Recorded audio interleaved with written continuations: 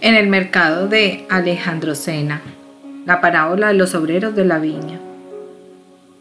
El patio de los tres hermanos está en mitad en sombra, la mitad luminoso del sol. Está lleno de gente que va y viene para sus compras, mientras que fuera del portón en la placita vocea el mercado de Alejandrocena en medio de un confuso ir y venir de adquisidores y compradores, de asnos, de ovejas, de corderos, de volatería porque se comprende que aquí tienen menos remilgos y llevan al mercado también a los pollos, sin miedo a ningún tipo de contaminación. Rebuznos, balidos, cacareos de gallinas y triunfales quinquirías de gallitos se mezclan con las voces de los hombres formando un alegre coro, que de vez en cuando adquiere notas agudas y dramáticas por algún altercado. También dentro del patio de los hermanos hay bullicio, y no hay falta alguno de otro altercado o por el precio o porque un marchante ha tomado lo que otro para sus adentros había elegido. No falta el quejido lastimero de los mendigos, que en la plaza, cerca del portón, recitan la letanía de sus míseras con una cadencia cantora y triste como un aullo de moribundo. Soldados romanos con aire de dueños van y vienen por el fondac y la plaza, Supongo que en servicio, porque los veo armados y nunca solos, en medio de los fenicios, que también van todos armados. Jesús pasea arriba y abajo por el patio, con los seis apóstoles, como esperando el momento adecuado para hablar. Luego sale a la plaza un momento, pasa cerca a los mendigos y les da una limosna. La gente se distrae unos minutos a mirar el grupo Galileo y se pregunta quiénes serán esos extranjeros. Hay quien informa de quiénes son los huéspedes de los tres hermanos, porque les ha pedido a estos información. Un rumor sigue los pasos de Jesús que va tranquilo, acariciando a los niños que encuentran su camino. En el rumor no faltan risitas irónicas y epítetos poco halagueños para los hebreos, como tampoco falta el honesto deseo de oír a este profeta, a este rabí, a este santo, a este Mesías de Israel.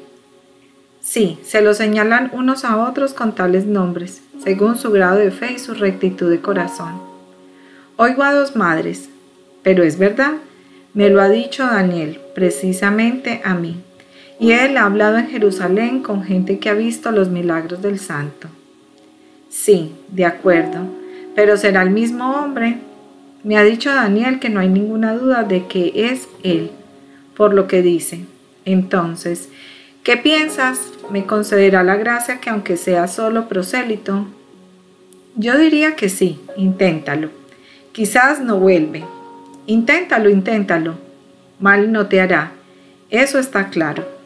Sí, dice la mujercita y dejando plantado a un vendedor de loza con el que estaba contratando unos cuencos, se marcha. Vendedor que ha oído la, conversión, la conversación de las dos y ahora, defraudado, enfadado por el buen trato que se ha esfumado, se abalanza contra la mujer que queda y la cubre de improperios. ¿Cuáles? Maldita neófita, sangre de hebrea, mujer vendida, etcétera, etcétera. Oigo a dos hombres barbudos y de porte grave. Me gustaría oír hablar. Dicen que es un rabí, un profeta debes decir, mayor que el bautista. Me ha dicho Elía unas cosas, unas cosas. Él sabe porque tiene una hermana que está casada con uno que viene al servicio de un rico de Israel. Y para saber de ella, va a preguntar a los compañeros de servicio. Este rico es muy amigo del rabí. Un tercero, un fenicio quizás, que estando cerca ha oído la conversación, asoma su cara enjuta, satírica, entre los dos, y con Dónica risotada dice, pues vaya santidad, aderezada con riquezas. Por lo que yo sé, el santo debería vivir en pobreza. Calladoro, mala lengua. Tú, pagano, no eres digno de juzgar estas cosas. Ah, vosotros sí sois especialmente tú, Samuel. Mejor sería que me pagaras esa deuda. Ten y no sigas dando vueltas alrededor de mí, vampiro de cara de fauno. Oiga un anciano semiciego que está acompañando a una muchachita y que pregunta, ¿Dónde está? ¿Dónde está el Mesías? Y la niña, dejad paso al viejo Marcos. Por favor, decirle al viejo Marcos dónde está el Mesías. Las dos voces, la senil, feble y trémula, la niña, argentina y segura, se expande en vano por la plaza hasta que otro hombre dice, ¿buscáis al rabí? Ha vuelto hacia la casa de Daniel. Ahí está, parado, hablando con los mendigos. Oigo a dos soldados romanos. Debe ser eso el que persigue a los judíos. Menudos bichos esos. A simple vista se ve que es mejor que ellos. Eso es lo que los fastidia. Vamos a decírselo al alfarés. Esa es la orden. Disbaratada callo. Roma se guarda de los corderos y soporta, diría incluso que acaricia a los tigres. No creo, Excipión. A Poncio matarle es fácil. Sí, pero no cierra su casa a las hienas rastreras que lo adulan. Política, Escipión, política. Vileza, callo y necedad. De esta debería hacerse conmigo. Ganaría una ayuda para mantener obediente y esta la gentuza asiática. No sirve bien a Roma Poncio desatendiendo a este hombre bueno y adulando a los malos. No critiques al procónsul. Somos soldados. El superior es sagrado como un dios. Hemos jurado obediencia al divino César y al procónsul lo representa. Eso está bien en lo que respecta al deber hacia la patria sagrada e inmortal, pero no para el juicio interno. Pero la obediencia viene del juicio. Si tu juicio se revela contra una orden y lo critica, ya no obedecerás totalmente. Roma se apoya en nuestra obediencia ciega para tutelar las conquistas. Pareces un tribuno y es correcto lo que dices, pero te hago una observación. Roma es reina, pero nosotras no somos esclavos sino súbditos. Roma no tiene, no debe tener ciudadanos esclavos y esclavitud es imponer silencio a la razón de los ciudadanos. Yo digo que mi razón juzga que Poncio hace, hace mal, no ocupándose de este israelita. Llámalo Mesías, santo, profeta, rabí, lo que quieras, y siento que puedo decirlo porque diciéndolo no viene a menos mi fidelidad a Roma, ni mi amor. Es más, si deseo esto es porque siento que Él, enseñando respeto a las leyes y a los cónsules, como hace, ayuda al bienestar de Roma. Eres culto, Escipión, llegarás lejos. Ya vas adelante. Yo soy un pobre soldado, pero ves mientras allí la gente se ha amontonado en torno al hombre. Vamos a decírselo a los jefes militares. Efectivamente, cerca del portón de los tres hermanos hay un montón de gente alrededor de Jesús, al cual se le ve bien por su alta altura. Luego de repente se eleva un grito y la gente se agita. Otros estaban en el mercado, acuden corriendo y algunos del remolino de gente corren hacia la plaza e incluso más allá de la plaza. Preguntas, respuestas. ¿Qué ha pasado? ¿Qué sucede? El hombre de Israel ha curado a Marcos, el anciano. El velo de sus ojos se ha disipado. Jesús, entre tanto, ha entrado en el patio, seguido una cola de gente. Renqueando, al final, viene uno de los mendigos, un renco que se arrastra más con las manos que con las piernas pero si las piernas están torcidas carecen de fuerza, por lo cual sin los bastones no andaría. La voz por el contrario es bien vigorosa. Parece una sirena que desgarra al aire luminoso de la mañana. Santo, santo, Mesías, Rabí, piedad de mí. Grita desde, desgañotándose sin tregua. Se vuelven dos o tres personas. No malgastéis las energías. Marcos es hebreo, tú no. Para los israelitas verdaderos hace milagros, no para los hijos de perro. Mi madre era hebrea, y Dios la ha castigado dándote a ti, un monstruo, por su pecado. Fuera, hijo de loba. Vuelve a tu sitio, lodo en el lodo. El hombre se pega a la pared, acobardado, atemorizado ante los amenazadores puños levantados. Jesús se detiene, se vuelve, mira, ordena, hombre, ven aquí. El hombre lo mira, mira a los que lo amenazan y no se atreve a avanzar. Jesús se abre paso entre la pequeña muchedumbre y se acerca a él. Lo toma de la mano, o sea, le pone la mano en el hombro y dice, no tengas miedo, ven aquí delante conmigo. Y mirando a los despiadados dice severo, Dios es de todos los hombres que lo buscan y que son misericordiosos. Comprenden la alusión y ahora son ellos los que se quedan al final, más aún los que se quedan parados donde están.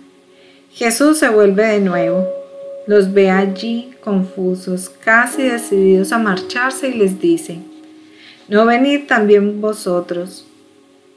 Os vendrá bien también a vosotros para enderezar y fortalecer vuestra alma, de la misma forma que enderezo y fortalezco a éste, porque has debido tener fe. Hombre, yo te lo digo, queda curado de la enfermedad. Y quita la mano del hombre del renco, tras haber experimentado éste como una sacudida. El hombre se yergue, seguro, sobre sus propias piernas, arroja las muletas ya consumidas por el uso y grita, Él me ha curado, bendito el Dios de mi madre. Y se arrodilla para besar los bordes de la túnica de Jesús. El tumulto de quien quiere ver o ya ha visto y ahora comenta alcanzan su culme. En el profundo atrio que de la plaza conduce al patio, las voces resuenan con sonoridad de pozo y producen eco contra las murallas del castro. Los soldados deben temer que se haya producido una reyerta. Debe ser fácil en estos lugares, con tantos contrastes de razas y fes, de forma que acude un pelotón y se abre paso rudamente, preguntando de qué sucede. Un milagro, un milagro. Jonás el renco ha sido curado. Ahí está, al lado del hombre Galileo. Los soldados se miran unos a otros, no hablan hasta que no ha pasado toda la muchedumbre. Detrás se ha agregado más gente, de la que había en las locales de Fondac y en la plaza. Ahora, donde se ve solamente a los vendedores, enojadísimos por el imprevisto reclamo que hace fracasar el mercado de ese día. Luego, al ver pasar a uno de los tres hermanos, preguntan, Felipe, ¿sabes lo que piensa hacer ahora el rabí? Va a hablar, va a adoctrinar. Y además en mi patio, dice Felipe, todo alborozado. Los soldados se consultan. ¿Quedarse? ¿Marcharse? El alfarés nos ha dicho que vigilemos. ¿A quién? Al hombre, por el que podríamos ir a jugarnos a los dados una ánfora de vino de Chipre, dice Epsión, el soldado que antes defendía a Jesús ante su compañero. A mí me parece que eres el que necesita ser protegido no el del derecho romano. ¿No lo veis? Ninguno de nuestros dioses tiene un aspecto tan manso y al mismo tiempo tan viril. Esta gentuza no es digna de él, y los indignos son siempre malos. Vamos a quedarnos a protegerlos. Si hace falta, le guardaremos las espaldas y se las acariciaremos con los brigones, dice medio sarcástico, medio admirado otro. Bien dices, Pudente, es más para que Prócoro el alférez, que siempre está soñando complots contra Roma y ascensos para él, por gracia y mérito de su solícita vigilancia por la salud del divino César y de la diosa Roma, Madre y Señora del mundo, se convenza de que aquí no va a conquistar brazalete o corona. Ve a llamarlo, Asio. Un soldado joven se marcha corriendo y corriendo vuelve, diciendo, Prócoro no viene. Manda al triario Áquila. Bien, bien. Mejor él que el propio Cecilio Máximo. Aquila ha servido en África, en Galia, y estuvo en las crueles selvas que nos arrebataron a Varo y a sus legiones. Conoce a griegos y bretones y tiene un buen olfato para distinguir.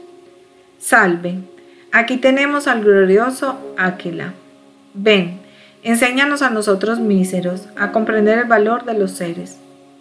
Viva Áquila, maestro de los soldados. Gritan todos, dándole afectuosos zarandeos al viejo soldado, marcado de cicatrices en el rostro. y como el rostro así tiene sus brazos, pantorrillas desnudos.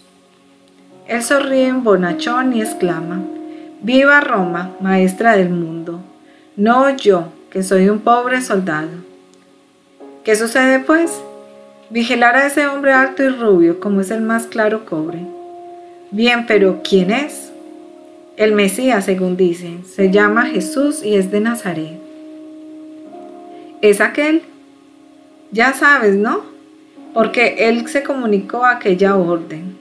Mm, bien, pero me parece que no perseguimos nubes. Dice que quiere hacerse rey y suplantar a Roma. El Sanedrín, los fariseos, saduceos y herodianos lo han denunciado ante Poncio. Ya sabes que los hebreos tienen la obsesión en la cabeza y de vez en cuando aparece un rey. Sí, sí, pero si es por este hombre, de todas formas, vamos a oír lo que dice. Creo que se dispone a hablar. He sabido por el soldado que está con el centurión, que Publio Quintiliano le ha hablado de él como un filósofo divino. Las mujeres imperiales se muestran entusiastas, dice otro soldado joven. Claro, también yo me sentiría entusiasta de él si fuera una mujer, y querría tenerlo en mi cama, dice riéndose abiertamente otro soldado joven. Cállate, impúdico, la lujuria te come, dice otro bromeando. ¿Y tú no, Fabio? Ana, Cira, Alba, María. Silencio, Sabino. Estás hablando y quiero escuchar, ordena el triario. Y todos guardan silencio. Jesús ha subido encima de una caja que está colocada contra la pared. Todos, por tanto, los que pueden ver bien, ya se ha esparcido por el aire su dulce saludo seguido luego por las palabras, Hijos de un único Creador, escuchad, para proseguir en el atento silencio de la gente. El tiempo de la gracia para todos ha llegado, no solo para Israel, sino para todo el mundo. Hombres hebreos que estáis aquí por diversas razones, prosélitos, fenicios, gentiles todos, oíd la palabra de Dios, comprended la justicia, conoced la caridad Teniendo sabiduría, justicia y caridad, dispondréis de los medios para llegar al reino de Dios, a ese reino que no es una exclusividad de los hijos de Israel, sino que es de todos aquellos que amen de ahora en adelante al verdadero, único Dios, y crean en la palabra de su verbo. Escuchad, he venido de muy lejos, no con miras de usurpador, ni con la violencia del conquistador.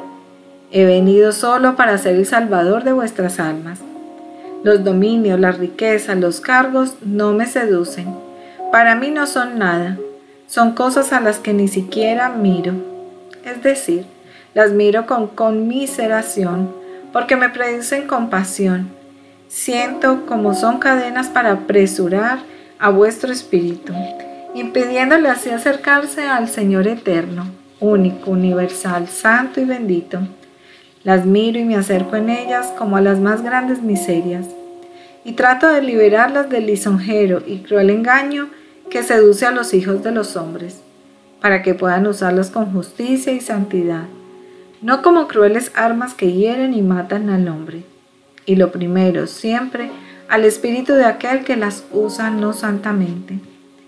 Pero en verdad os digo, me es más fácil curar a un cuerpo deforme que a un alma deforme me es más fácil dar luz a las pupilas apagadas, saluda a un cuerpo agonizante, que luz a los espíritus y saluda a las almas enfermas. ¿Por qué? Porque el hombre ha perdido de vista el verdadero fin de su vida y se ocupa de lo transitorio.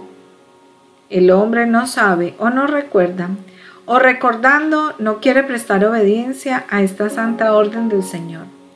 Y hablo también para los gentiles que me escuchan de hacer el bien que es bien en Roma, como lo es en Atenas, en Galia o en África, porque la ley moral existe bajo todos los cielos y de todas las religiones, en todo corazón recto. Y las religiones, desde la de Dios hasta la de la moral individual, dicen que la parte mejor de nosotros sobrevive, y que según como haya obrado en la tierra, así será su suerte en la otra vida.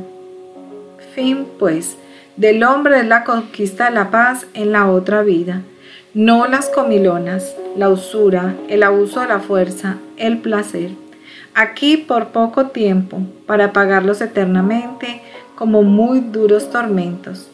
Pues bien, el hombre no sabe o no recuerda o no quiere recordar esta verdad. Si no la sabe, es menos culpable. Si no la recuerda, es, es bastante culpable, porque hay que tenerla encendida la verdad, o a la antorcha santa en las mentes y en los corazones. Pero si no la quiere recordar y cuando resplandece cierra los ojos para no verla, aborreciéndola como a la voz de un orador pedante, entonces su culpa es grave, muy grave. Y no obstante, Dios perdona esta culpa si el alma repudia su comportamiento malo y se propone perseguir durante el resto de la vida el fin verdadero del hombre, que es conquistarse la paz eterna en el reino del Dios verdadero. ¿Habéis seguido hasta ahora un camino malo? Abatidos pensáis que es tarde para tomar el camino recto. Desconsolados decís, no sabía nada de esto, ahora me veo ignorante e inhábil. No, no penséis que es como las cosas materiales y que hace falta mucho tiempo y fatiga para rehacer de nuevo. Con santidad lo ya hecho.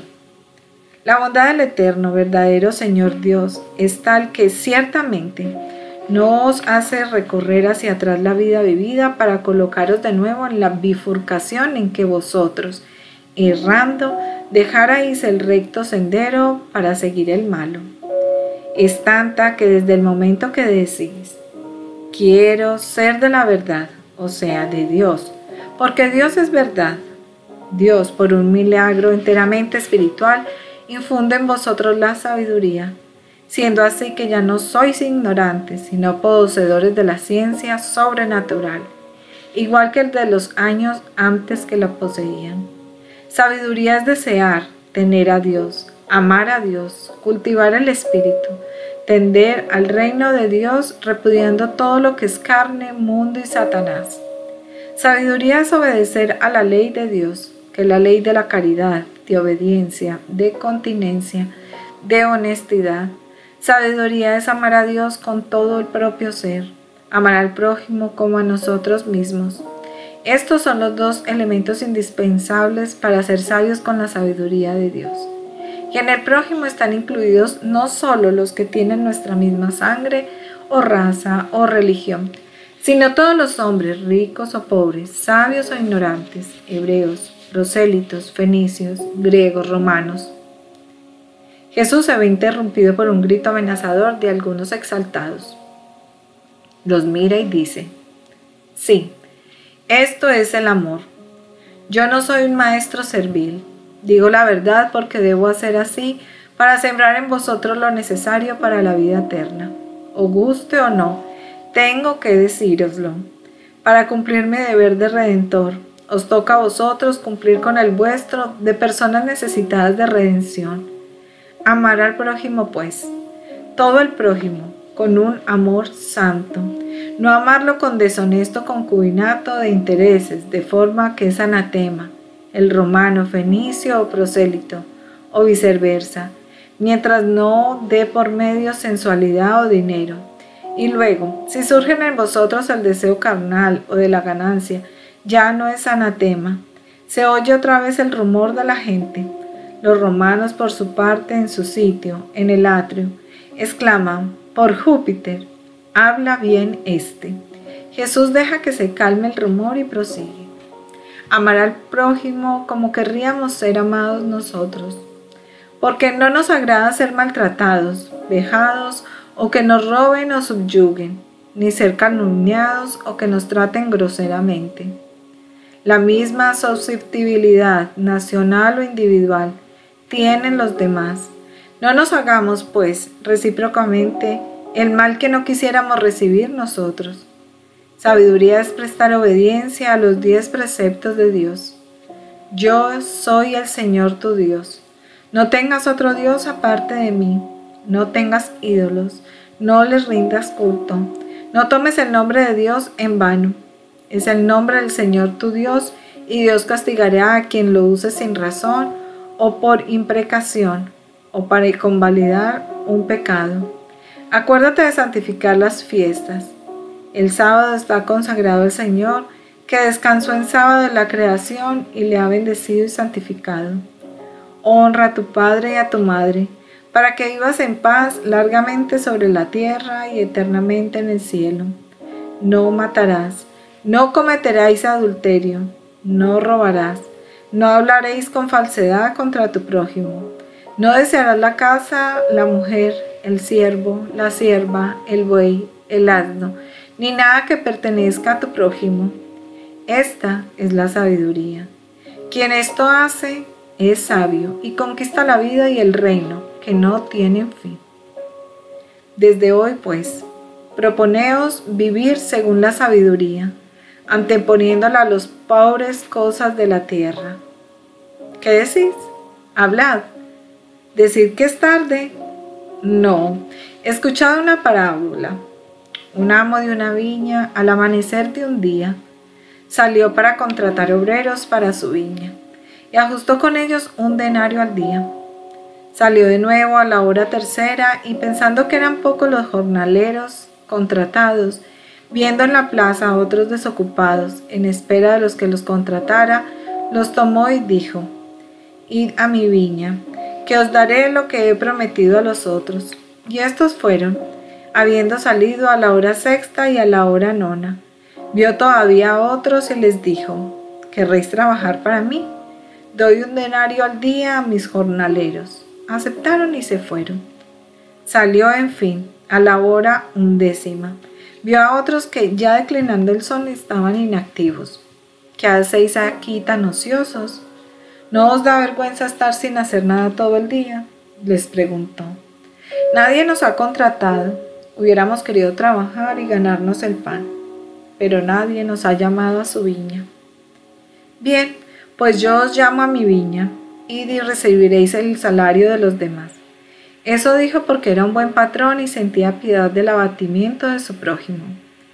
Llegada la noche, terminados los trabajos, el hombre llamó a su administrador y dijo, llama a los jornaleros y paga su salario, según lo que he fijado, empezando por los últimos, que son los más necesitados, porque no han tenido durante el día el alimento que los otros una o varias veces han tenido. Y además son los que han agradecido mi piedad, más han trabajado. Los he observado. Liciencialos, que vayan a su merecido descanso y gocen con su familia de los frutos de su trabajo. Y el administrador hizo como el patrón le ordenaba dio a cada uno un denario. Habiendo llegado al final aquellos que llevaban trabajado desde la primera hora del día, se asombraron al recibir tan solo un denario y manifestaron sus quejas entre sí y ante el administrador, el cual dijo, He recibido esta orden, id a quejaros al patrón, no vengáis a quejaros a mí. Y fueron y dijeron, No eres justo Hemos trabajado 12 horas, primero en medio del aguazo, luego bajo el sol de fuego y luego otras veces con la humedad del anochecer. Y tú nos has dado lo mismo que a esos haraganes que han trabajado solo una hora. ¿Por qué? Y especialmente uno de ellos levantaba la voz juzgándose traicionado y explotado indignamente. Amigo, ¿y en qué te he perjudicado? ¿Qué he pactado contigo al alba? una jornada de continuo trabajo y como salario un denario. ¿No es verdad? Sí, es verdad. Pero tú has dado lo mismo a esos por mucho menos trabajo. ¿Has aceptado este salario porque te parecía bueno? Sí, he aceptado porque los otros daban incluso menos. ¿Te he maltratado aquí? No, en conciencia no. Te he concedido reposo a lo largo de la jornada y comida. ¿No es verdad? Te he dado tres comidas y la comida y el descanso no habían sido pactados. ¿No es verdad? Sí, no estaban acordados. Entonces, ¿por qué lo has aceptado? Hombre, pues tú dijiste, prefiero así para evitar que os canséis volviendo a vuestras casas. No dábamos crédito a nuestros oídos. Tu comida era buena, era un ahorro, era era una gracia que os daba gratuitamente y que ninguno podía pretender. ¿No es verdad? Es verdad. Por tanto, os he favorecido. ¿Por qué os quejáis entonces? debería quejarme yo de vosotros, que habiendo comprendido que trabajáis con un patrón bueno, trabajáis perezosamente, mientras que estos que han llegado después de vosotros, habiendo gozado el mismo beneficio de una sola comida, y los últimos de ninguna, han trabajado con más ahínco, haciéndose en menos tiempo el mismo trabajo que habéis hecho vosotros en doce horas. Os habría traicionado si os hubiera reducido a la mitad el salario para pagar también a estos.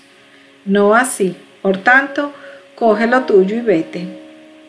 ¿Pretendes venir a imponerme en mi casa lo que a ti te parece? Hago lo que quiero y lo que es justo.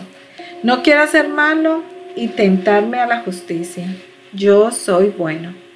Oh, vosotros todos que me escucháis, en verdad os digo que el Padre Dios propone a todos los hombres el mismo pacto y les promete la misma retribución. Al que con diligencia se pone a servir al Señor, Él lo tratará con justicia, aunque fuere poco su trabajo, debido a la muerte cercana. En verdad os digo que no siempre los primeros serán los primeros en el reino de los cielos y que allí veremos a últimos ser primeros y a primeros ser últimos. Allí veremos a hombres no pertenecientes a Israel, más santos que muchos de Israel. He venido a llamar a todos en nombre de Dios. Pero, si muchos son los llamados, pocos los elegidos, porque pocos desean la sabiduría. No es sabio el que vive del mundo y de la carne, y no de Dios. No es sabio ni para la tierra ni para el cielo en la tierra se cree enemigos, castigos, remordimientos y pierde el cielo para siempre. Repito, sed buenos con el prójimo, quien quiera que sea. Sed obedientes, dejando a Dios la tarea de castigar a quien manda injustamente. Sed continentes, sabiendo resistir a la sensualidad.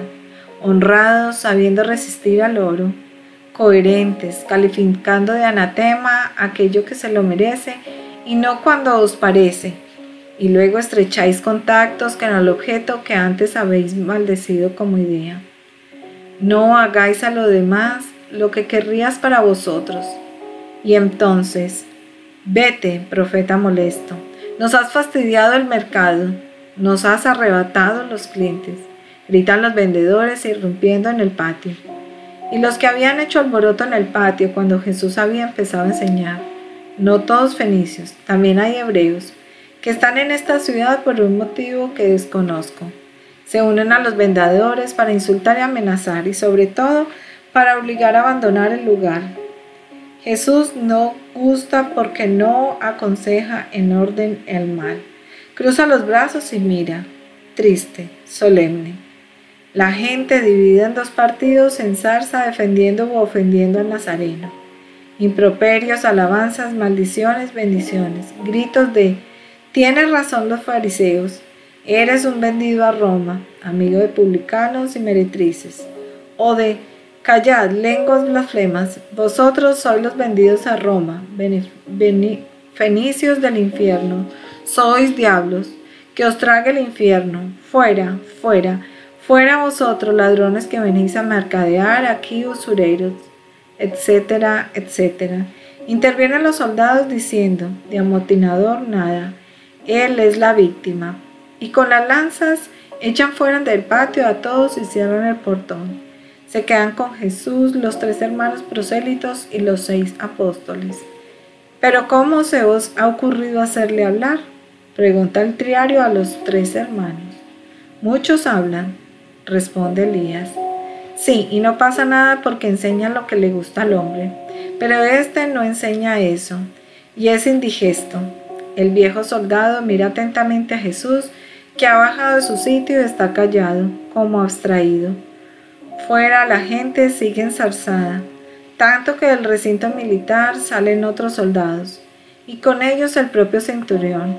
Instan para que les abran, mientras otros se quedan a rechazar tanto a quien grita, viva el rey de como Israel, como a quien lo maldice. El centurión, inquieto, da unos pasos adelante, arremete coléricamente contra el viejo Áquila.